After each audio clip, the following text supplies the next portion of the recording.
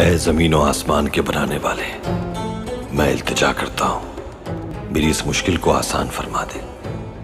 तू ही दोनों जहानों का मालिक है। तू ही रास्ते और मंजिल को आसान बनाने वाला है। इस मुश्किल को आसानी में बदल दे। मुझे किसी तख्तो ताज की तमन्ना नहीं है। मैं तेरे नाम की लाज रखने निकला हूँ और तेरे नाम की सरबुलंदी ही मेरा मकसद है। मुझे हक और सच के रास्ते में शहादत की मौत अता फरमा।